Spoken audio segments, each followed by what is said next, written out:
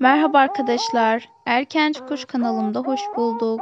Sizler için yepyeni, çok güzel Demet Özdemir'den Doğduğun Ev Kaderindir dizisinden yepyeni kareleri sizler için paylaşıyorum arkadaşlar. Umarım beğenirsiniz.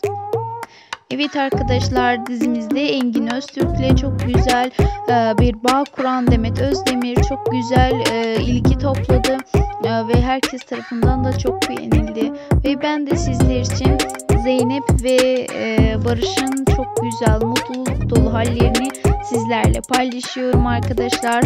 Gerçek hayat hikayesinden esinleniyor dizi. Bildiğiniz gibi gerçek hayatta da öyle bir hayatlar var.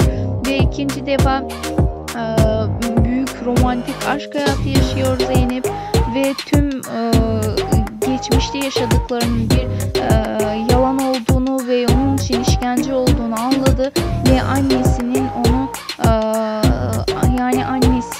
hayatı onun için e, uymadığını anladı Zeynep ve çok kötü şekilde annesine küstü ve annesinin onun hayatının için e, çok zor planlar yaptığını söyledi. Hoşçakalın.